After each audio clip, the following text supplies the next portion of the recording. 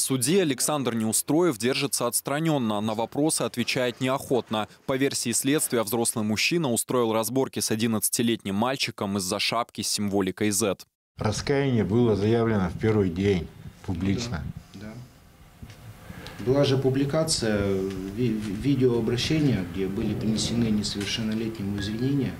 Инцидент произошел в апреле прошлого года. Неустроев заметил во дворе ребенка с буквой Z на шапке и завелся с полуоборота. Родителям своим идиот. Позови отца своего сюда. После случившегося за мужчиной приехали полиция и ОМОН. С ними Неустроев вел себя уже более сдержанно.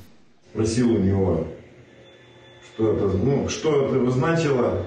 Он на меня посмотрел, как мне показалось, вызывающе, и пошел дальше. Я его оск- оскорбил нецензурной бранью.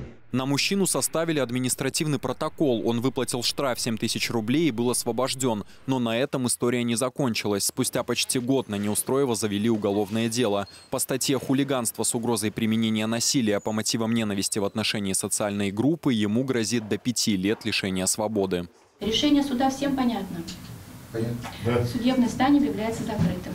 Мальчик, шапка которого так возмутила Неустроева, заседание суда не посещает. Известно, что он принимает участие в патриотических акциях. Отец школьника находится в зоне СВО. Евгений Алексеев, Василий Тулинов. События ОТВ.